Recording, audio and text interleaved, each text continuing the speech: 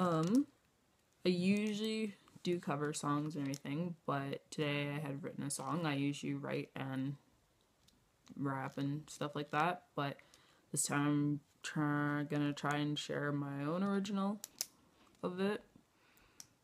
Uh, rap song thing. Um, I don't have it to a beat or anything yet. I plan on it soon or later, but for now I'm just gonna recite it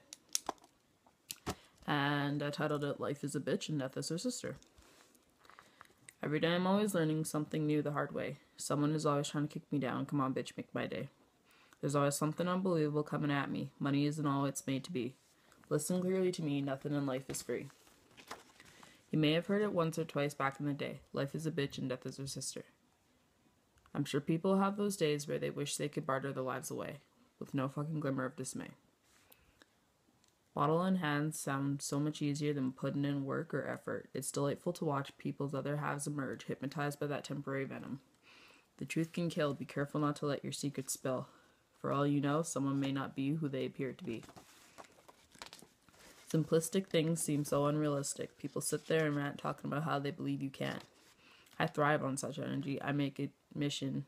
I make it my mission to prove all their beliefs wrong and looks irrelevant irrelevant.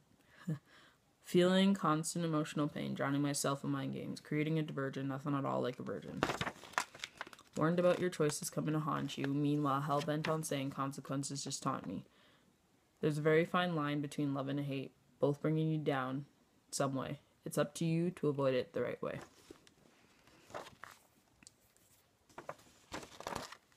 I can never seem to find balance in life, which does fuck all except create strife. Fuck it all in the same breath, let all the various regrets and suffocating the little happiness I have left. Pain forms just as easy as rain. Shit gets worse, then sometimes disintegrates. And that's it.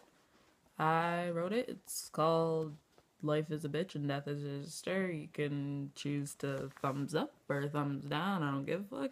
Just uh, write any comments or anything that you have and I think I might try and do a mixture of covers and also still share some more stuff that I've written. Alrighty.